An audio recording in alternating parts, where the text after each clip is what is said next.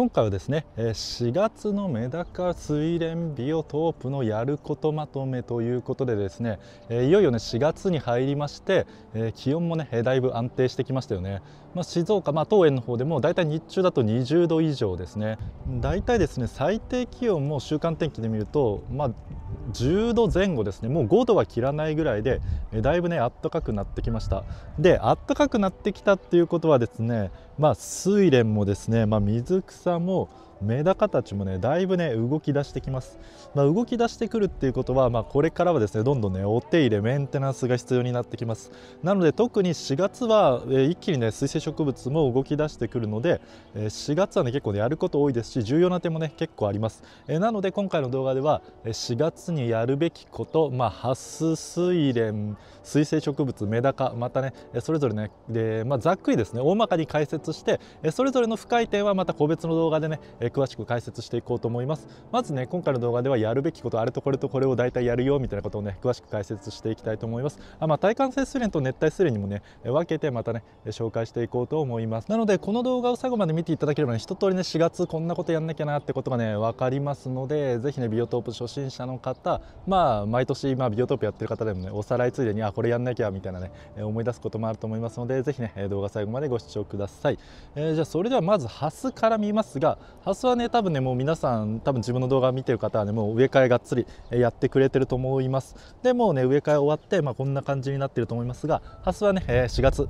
放置です。特にやることないです。さっきねいきなりやることいっぱいあるよって言いましたけど発はね特にやらなくていいです。多分これからですね発4月とかになってくるとこんな感じでまずね銭場っていうこのちっちゃいね浮き場みたいのを出してきます。えー、まだねこの状況この段階ではね特にお世話しなくていいですし、えー、もっとね立場っていう立ち上がってくる葉っぱが出てきたら追肥をねするぐらいでもうほんと放置です。ただ日当たりのいいところに置いて、まあ、水を切らさないでいてくれればいいですね、まあ、早いですね。当園もうこれ銭場出てきたんだ。小3色ですね、えー、が出てきてます。他のとこはこんな感じでこっちもねちょっとずつ出てきてます。早い品種だとちょっとずつああいう銭場みたいの出し始めてるって感じですがこれもそうですね。ただねまあ基本こんな感じでまだねほとんど動き出してないのが大半なので発はね動き出し結構遅いのでまだね全然出てなくても心配しないでください。ここでね下手にいじったりするとせっかく芽出てきてるのにダメになっちゃったりすることがありますので今はね動きがなくてもそっとしておいてあげてください。大丈夫です。こっから出てきますんで。そしたら次に皆さん気になるであろうメダカを見ていきますか。メダカはですねちょっと前の動画でもアップしたと思うんですけど、えー、冬場に溜まった汚れですね、えー、まあ、こんな感じでここまだリセットしてないんですけど、こんな感じで、え底の方に、ね、おで溜まってますし結構ね水が汚かったり枯れた葉っぱとかねあったりします、えなので必ずメダカビオトープは、え春暖かくなる前本格的に暖かくなる前にフルリセットもしくは、ま、部分冠水ですね。こっち部分冠水した容器なんですけど必ずしてください。この辺とかもフルリセットしてますね、まあ、フルリセット放置部分冠水した容器ですね。必ずフルリセットもしくは部分冠水してあげてください、まあ、やり方はねちょっと前の動画で詳しくね解説してますのでそちらね参考にしてリセットしてあげてください。必ずやってください。冬のね汚れた水がですね気温上昇してくるとかなり傷みやすくなってメダカね調子崩しやすいので必ず水替えをねしてあげてください。そうすると4月になってきますといよいよですねこのメダカたち卵を産んできますよね。これ今、えー、部分冠水した容器だと卵この子産んでますし他の容器でもねもう結構4月になってくると卵、えー、産んできます。なのでそろそろね4月下旬になってきたらもうメダカのね採卵もねしてっていいと思います。まだね産んでる容器産んでない容器ね結構あります。まだ産んでる子と産んでない子も結構います。この辺も産んでないな。さっきのとこぐらいかな。でも他のとこもね結構もう産んでるんですけどね。こことかも。この子とかもね産んでますね。えなのでただね採卵はですね4月上旬とかだとまだね水温が安定しないので当園ではね多分4月下旬とかからまあゴールデンウィーク前ぐらいからねがっつり取り始めるかなっていう感じです。またねその辺も近くなったら詳しいね解説動画出しますしもう早く知りたいよっていう方は多分去年も動画出してると思いますのでそちらをねご覧ください。で餌やりなんですけどもうこんな感じで もう今撮影してるのが11時ぐらいなんですけど21.6度あります。なので餌やりこの時期ですねやっぱりあげるとしたら日中のね一番暖かい時間帯ですね。日中の暖かい時間帯にまだね4月上旬とかだったら、えー、このテトラさんのねキリミンとかフレークフードの方がね、えー、おすすめですね。まだ越冬開けたばっかといえばばっかなのでえー、こちらの方がねおすすめです。なので春先のね餌やり方法も、えー、詳しい動画、え過去にアップ過去っていうか最近ねアップしてますので気になる方はねぜひそちらご覧になってみてください、まあ、こんな感じで様子見ながら少量ですね与えていくイメージですね。まだそれも日中の一番暖かい時間帯ですね。に与えてください。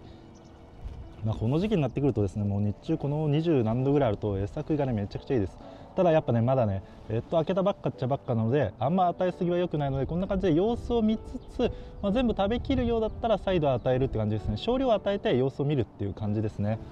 こっちとかもオロチの方なんですけどこっちもね多分もうめちゃくちゃ食べるのでただあげる量は少量で日中のあったかい時間帯にって感じですね、まあ、サラリーマンの方でねどうしてもねあげれないよっていう方は、まあ、朝ねこの時期だったらもう最低がもう10度近くありますので朝ほんのちょびっと少量与えるっていうのもねありっちゃありですね。ほんのちょびっとですね。で休日のこういう日中のねあったかい時間帯に、まあ、それなりにねしっかり与えてあげるっていう感じですね。で1日まだねこの時期だったらね1回でいいです。あこんな感じでここら辺めっちゃ卵持ってるな。この辺のねオロチとかもめっちゃ卵持ってる子いますね。バンバン産んできてます。なのでねこの時期になってきたらメダカもそれなりにもう、えー、まあ上げれる人はね毎日日中あったかい時間帯はね上げてもいいです。ただ雨の日とか次の日ねまだ寒くなる寒の戻りがあるようだったらまだね、えー、その前日とかはね餌控えてあげた方がいいです。あったかい日が何日も続くようだったら、こんな感じでね様子見ながらちょっとずつちょっとずつ上げるイメージですね。なのでまあメダカのやることとしてはまあメダカ容器のねリセット。あとはこんな感じで餌やりですね。まあ、日中の暖かい時間帯に少量フレークフードみたいなのをですねまだ消化にいいやつですね。であとは4月下旬になってきたらそろそろ採卵を始めるっていうイメージですね。でお次は睡蓮なんですけど、まあ、睡蓮も多分ね自分の動画見てる方はもう植え替えされた方もいますいると思いますし、まあ、まだねこれから4月だったらね全然植え替えにも、いい時期です、まあ、人間もねちょうど寒くなくて、えー、水触るのもねちょうどいいですし、まあ、睡蓮もね今植え替えてもらえば今4月なんで56、まあ、7月とか、まあ、早いのはね6月ぐらいもががっつりね咲いてくれると思いますので、えこんな感じでまだね植え替えまだのやつ脇芽がいっぱい出てるやつ成長点がね壁にぶち当たっちゃってるやつとかは今の時期もねがっつり植え替えしてもシーズン中ですねベストシーズンのえー、6、7、8月ぐらいまでにね、えー、がっつり咲いてくれると思いますので、すでもね、植え替えをがっつりやっておいてください。でも植え替えが終わってる方はですね、特にね、やることないですね。まあ、放置で、あとはもうどんどん成長してくれるのを待つだけで、え、追肥とかもまだこの時期そんな気温上がらないので、肥料も元肥で全然大丈夫なので、追肥も必要ないので、今の段階ではとにかくもう植え付けが終わってれば、日当たりのいいとこで放置しておいて水を切らさない、えそれだけで大丈夫です。あ、耐寒性水蓮ですね。耐寒性水蓮はそれで大丈夫です。でちなみに熱帯水蓮の方なんですけど、熱帯水蓮は多分ねまだね全然全然っていうかまあそんな動き出してないですね、まあ、4月になってくれば徐々に動き出してくれると思います。多分ねちょっと前の動画でも熱帯水蓮の、えー、春先の管理方法みたいなの詳しく解説してると思うんですけど、まあ、生きてればこんな感じで、えー、ちっちゃい芽がねどんどん出てきます。ただ、えー、出てきたからってすぐ植え替えなくても大丈夫なので、えもしかすると、え死んじゃってる場合とかもね、えあります。えー、ただね今掘り返しちゃうと、まあ、寒の戻りはもうないかもしれないですけど、まあ、寒の戻りがあったり、まあ、まだね、えー、そこまで本調子じゃないので調子崩しちゃうことがありますので、で熱帯スレも多分いじるとしたら4月下旬ぐらいゴールデンウィーク前かゴールデンウィークぐらいに、え、いじればいいと思いますので、え熱帯スレも特に今はいじらず日当たりのいい場所でとにかくね放置してあげることが大切です。ったりねいじんない方がいいです。あただですねまあ熱帯失恋の容器が例えばあってもうリセットしたいよっていうのであれば全然水替えとかねフルリセットはしちゃって大丈夫です。ただこれもう熱帯失恋だけを、ね、取り出してまあ、特にこれをいじらず、まあ、水でね汚いんで 水でバーって流すぐらいはいいです。こう掘り出してえなんかするとかはせずにそのまま、ね、水できれいに洗ってまた戻すとかだったら全然いいのでリセットしたい方は全然リセットしちゃって大丈夫です。ただ掘り起こすっていうのはねやめてください。でお次に水草ですね。まあ、水草もちょっと前の動画で紹介したんですけどえ多分まだ4月上旬だとこんな感じでねパリッパリのカレッカレのやつがあったり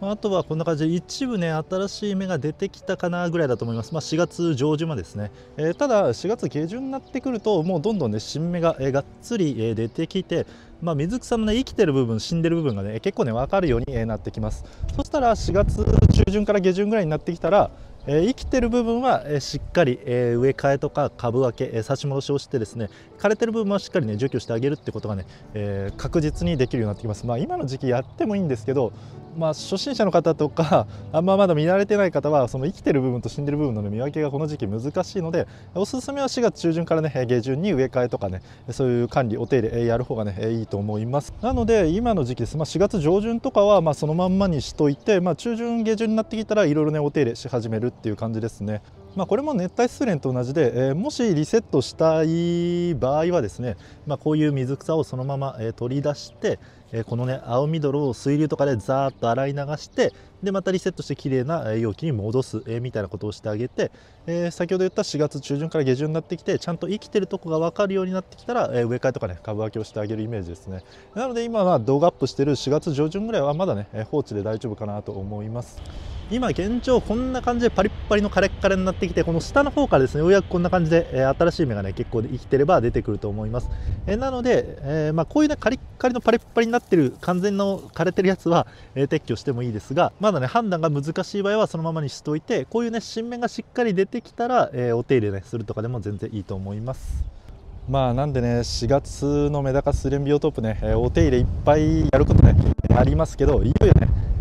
こうメダカも動き出してきてですねスイレンもねこんな感じで浮き場展開してきて、え水草もこんな感じで芽出してきていよいよね、え楽しいシーズンになってきましたのでぜひね皆さんも、えー、メダカいじりビオトープいじりスイレンいじり水草いじりいろいろね、えやってみてください、まあ、またねわからない点等あれば、えコメント欄でねコメントいただければ、え回答しますし、えそれぞれのね今言った詳しい方法もですね時期が近くなったらまた自分の方の、ね、動画でより、え詳しくね掘り下げて紹介しますのでぜひねチャンネル登録していただければねその都度シーズンに合わせた、ね、ビオトープのお手入れ管理方法分かりますのでぜひねチャンネル登録の方をよろしくお願いします、え本日も動画最後までご視聴いただき誠にありがとうございます。求めの説もコメントやグッドボタンありがとうございます。またねヤフオクでスイレン水生植物、え購入してくださった方もありがとうございます。今もですねヤフオクでスイレン水生植物、え絶賛販売中ですのでぜひねヤフオクカズメダカスレンビオトープ、え検索してみてください。今年からですねヤフオク以外でも水蓮農園のメールアドレスや、えー、ツイッター、インスタのね、えー、DM から直接ね水蓮農園の、えー、水生植物ですね、えー、購入できるようになりました、えー、なのでねヤフオクやってない方も、えー、ぜひねお気軽に、えー、水蓮農園のねメールアドレス、えー、ツイッター、インスタの DM からね直接メールして、えー、注文してください、えー、概要欄に注文方法の詳しい解説の動画と、えー、メールアドレスね、えー、記載してますのでそちらからね、えー、ご確認ください、まあ、ヤフオクでね販売してない水生植物例えばガガブタとかアスザとかはですねヤフオクでちょっとね販売できなくなってます。今えっとその絶滅危惧種の面ですね、まあ、当園のはまあ自家栽培のやつなんで現地採集種じゃないので、えー、別に問題ないんですけどその辺もね、えー、直接メールとかだったら販売できますのでヤフオクでね販売してないこういう定植物欲しいよとか、えー、スーレンもね今販売してないけどこういうのありますかとかあればねお気軽にコメントコメントというかねメールしていただければそちら回答いたしますし注文ね受けれることもありますのでぜひねお気軽にメールください。店舗販売ではね大阪にあります箱庭物語さんや静岡県にありますね赤玉ちゃんのお店で自分とこのねハススイレン水生植物絶賛販売中です。